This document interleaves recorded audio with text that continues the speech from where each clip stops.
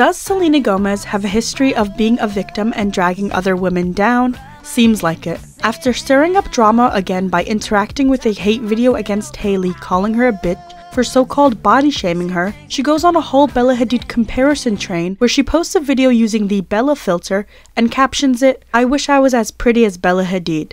It's giving pick me energy.